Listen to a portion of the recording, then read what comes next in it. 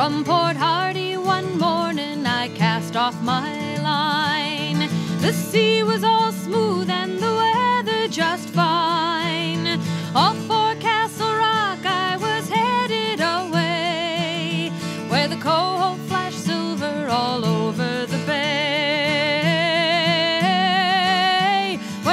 The flashed silver all over the bay. It was just before dawn